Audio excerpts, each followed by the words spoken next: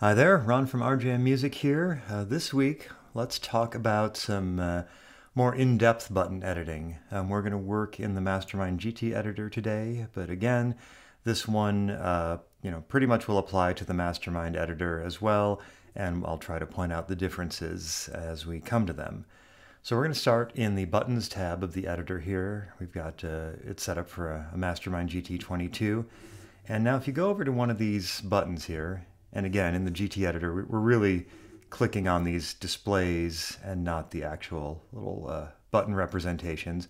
And if we double click on one, it pops up the full button edit screen. And so there's a whole lot of stuff here we can do with our buttons. Um, it's broken up into sections and uh, sort of the, the first place we need to look here is in the general settings. And, and um, we've got a few settings here. Um, We'll start at the top here. Um, button mode is something we won't really get into today, but if you click at, on this, you'll see that there's a normal and a hold setting. Um, a normal button means that it does something when you press it, and pretty much that's it. Um, where a hold button has a, a normal function that happens when you press it, but it also has a secondary function that happens when you hold the button for a couple seconds. Um, we'll talk about those in a later video. The, uh, the, probably the most important uh, setting on here is button type. And if you click on this menu, you'll see there's a whole bunch of different types of buttons um, you can have here. This is where you get your bank buttons and preset buttons and a whole bunch of other things here. Um, you know, the, the, most important ones being bank, preset, and IA. Um, but for now, we'll leave it set to be a preset button and, um, you know, go from there. Global is a really important setting as well. This one basically says a, a, button that's set to global will appear on, on every button page. So, um, for example, if we go back here and uh, the preset buttons are set um, to global. So if we you know, start here on page one and then move to page two and three and four, all these buttons we have here are set up um, you know, as global, and so they uh, automatically show up on every page, and the settings for those buttons are automatically the same on every page. If I were to just take this IA button here and set it to global and hit done, now if I go to page two and three and four, it's still the same. Um, be careful with it because um, you know global is an all or nothing thing. If you set it to global, you cannot override it in any way on any other page. So that button will always be the same all the time. So it can only be used in those kind of cases. So going back to this preset button here, we'll double click and um, continue on. Um, flash with tempo here, if we check that button um, and we have a, uh, a tap tempo set up, that button will not only flash with tempo, uh, with the, the, current tempo rate as, uh, as the, the name would suggest, it will also make it a, a tap tempo button and adjust the system tempo so it, it just basically becomes a tap tempo button. You may need to do some additional things to um, you know, hook it up to actually generate MIDI messages from that tempo, and that we'll discuss later. Okay, so for preset buttons, we have this extra um, parameter here called preset index. And I got into this a bit in, in an earlier video, but we'll, we'll talk about it here a little more. Um, and so what, what, when you have preset buttons, and we go back to the main screen here, we have, we have six buttons currently defined. And um, when you power up your, your mastermind, what it does is it, it takes the preset but the preset names and put them in the preset buttons. So, you know, if we go here to presets, you know, we have preset one, two, three, four, five, six, and you know, I can, you know, I can change preset one to something else, and uh, go back here, and now I, I click, and now it, it literally says something else. And so, uh, pre that preset buttons are different in that way, where their their names come exactly from the preset list, and when you press that button, that preset will be loaded. If we were to create more preset buttons, like here, and we uh, take the shortcut and set it to preset this way. Now something else moves here, and then we have presets two through seven. And so the by default, it always does this, where it, it when you load things up, it, it starts at the upper left and scans and looks for the first preset button, and the first preset from the list goes there, and then it looks for the next one, and the next preset goes here, etc., etc. And so, um, you know, that's sort of a, a, fixed order. And even if you were to um, do a button swap like we showed, it still wouldn't change things because all that the button settings say is it's just put a preset here and it, it works based on that order from um, left to right, top to bottom. So, but what if we don't want this, uh, this order to be, um, you know, that way we want to change it? That's what preset index is for. And so what we can do is open up this button and if, if all the preset ind indexes are set to zero, it just goes the way, you know, the default way, left to right, top to bottom. But now we can start messing with that by assigning uh, these. We can set this one to preset index one, and then two, and we're just going to go ahead. It's, it's going to do some weird things until we don't have any more that are zero. Four, five, six, and this one goes to seven. So now it, it went in, in that exact order that we said. We, it looks, instead of now going this way, it basically, okay, is there a number one somewhere? I'm going to put my first preset there. Is there a number two somewhere? I'm going to put my preset there, and so on and so forth. So you can, just by changing the index, it'll change how those, those preset, preset buttons are filled up. Um, a really important note here is that we're not literally saying that preset number one here goes here, preset number two goes here. On a real GT, if we were to click bank up, these, these preset buttons are going to switch and they're going to start in the next bank. So now instead of going from presets 1 through 7, this one is now going to be 8, 9, 10, 11, 12, 13, 14.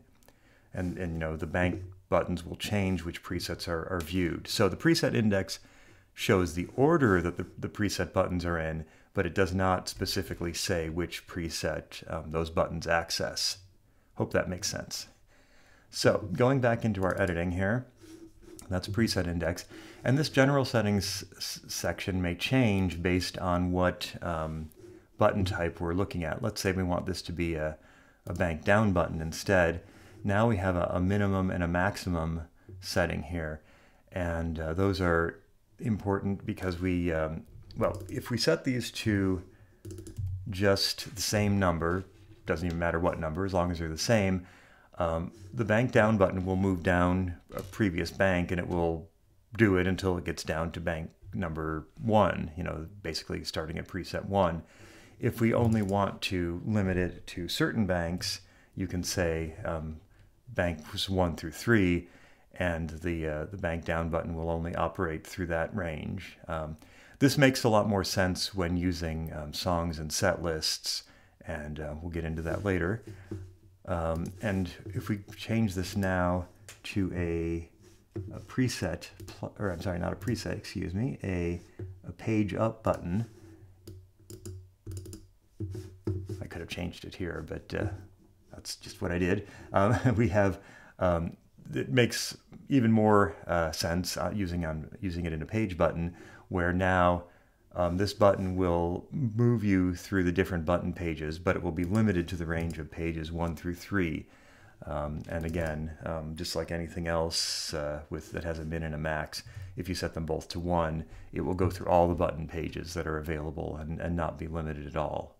Another button type that's, uh, that's uh, useful and, and has a, a different setting in this mode is device PC Plus. And what this one does is if you're setting up your your uh, mastermind to send spe specific program changes to a device, as we did in the previous video, um, you can also have a button like this, uh, a PC minus or a PC plus, that basically just says, move this device to the next preset or to the previous preset, and it just bumps it up or down. Um, and so if you have a button like that, you have to tell it what device we're talking to. And so there's going to be a setting here. We only have one device defined in Effect Gizmo, but you could have up to 16 devices.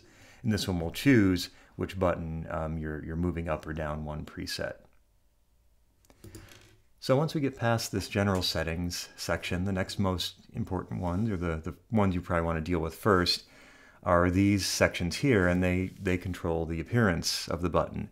Um, on a GT22, or on any GT, um, you'll see a, um, a representation of what the screen would look like on, on the device. Um, on uh, in the mastermind editor for the PBCs and the LTs, they don't have a screen over every button, and so you don't see this um, display here, but you do have the button name and the on color and the off color. And so um, the normal mode settings are what you um, would normally set, and you can call the button anything you like, and it'll it'll change accordingly. And um, then um, buttons can have an off color and an on color, um, which of course are displayed when the button is off and when the button is on. Um, certain buttons, like bank buttons and device PC plus and minus and page buttons, are never really on or off. They just have a, uh, they're just a single color and they, they do something, but they don't turn on and off like, say, maybe a, a, a button that, that selects a preset or a button that turns on a specific effect, those those make more sense to be you know on or off, but uh, these ones don't. So if it's a, a, button like this that doesn't have a particular um, on or off state, um, the off color is the one that um, controls what color is going to be displayed, and that's just going to be the one that's displayed all the time. So now um, we do have a whole other section here where it says IA mode. And uh, we talked about this a little bit earlier in a previous video where um, a button that isn't the instant access type can have a sort of a whole second set of settings that is an instant access button. So for example, we have a, uh, a device PC plus button here. Um, but if you were to turn on IA mode using the IA mode button, it would change and it wouldn't it would no longer say whatever but instead it would now become IA1 and its appearance would change to look like this. And so if we go here um, on a GT it, there's a specific IA mode button by default and that one would on the real unit would switch between the two. Um, but uh, in the editor there's an IA mode checkbox and it switches between the, um, the normal settings and the IA mode settings. And so this is a totally optional feature. It tends to get used more on the GTs than the LTs or the PBCs, but you can have this where each button page can have sort of two modes where um, you're looking at you know banks and presets, but then you can switch to a mode where they're all IAs. And so that is why when you get into these buttons, there are two um, two sets of presets here. And um, you know, regardless of whether you're using IA mode or not, um, the rest of the screen is devoted to IA buttons. And so we have IA settings, a whole set of checkboxes that deal with um, you know specific features of IA buttons, and then the IA actions. And these here um, are um, the MIDI messages the button may send, or in the case of a PBC, um, audio features that it may turn on or off. Um, you can do other things like changing button pages or even um, changing the state of other IA buttons. This is the IA buttons are the most uh, powerful ones because they have this this list of, of actions they can run, and it can a button can do a whole bunch of different things with a single button press. And that's all we have for this week. Um, please like and subscribe if you like the videos and want to hear when the new ones are coming out. Next week we should be talking about IA button options. Thanks.